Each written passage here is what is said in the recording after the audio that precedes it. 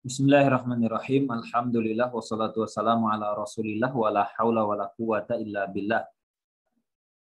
Ada pertanyaan di grup belajar muamalah. Pertanyaannya Bismillah Ustaz mau bertanya tentang biaya berlangganan suatu platform desain online yaitu Canva. Pada platform tersebut ada banyak fitur unggulan yang hanya bisa diakses oleh user premium. User premium didapat dengan cara bayar biaya langganan di sisi lain, ada pihak yang berlangganan fitur premium namun berperan sebagai agen. Pihak tersebut berlangganan fitur premium untuk tim. Bisa digunakan oleh beberapa user, kemudian akses premiumnya diecer ke pengguna yang membutuhkan. Tentunya dengan biaya yang lebih murah. Jasa ini yang Anda manfaatkan. Apakah yang eh, cara yang Anda pakai ini halal? Mohon petunjuk.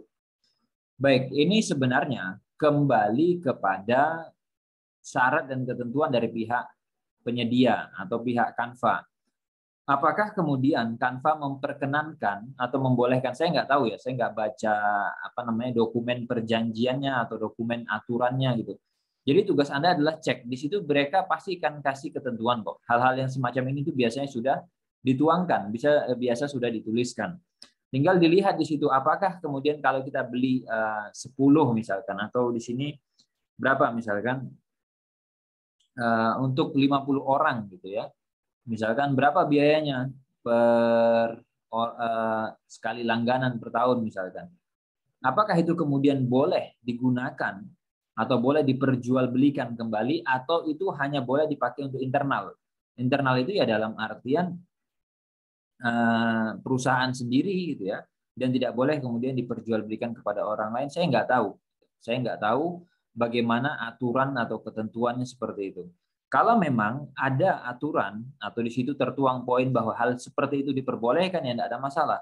Tapi kalau kemudian itu tidak diperbolehkan dalam artian kita hanya boleh pakai itu untuk tim kita sehingga kalau bukan tim itu tidak berhak untuk kita Eh, serahkan dan kemudian pakai apalagi kita minta bayaran berarti tidak diperbolehkan hukumnya gitu ya. Itu tergantung. Makanya anda eh, kalau mau seperti ini ya dibaca lagi. Istilahnya ada uh, syarat dan ketentuan. Biasanya ada poin-poin semacam itu disebutkan. Allah taala alam bisawab maka silahkan dicek ulang saja ketentuan dari pihak kanvanya bagaimana.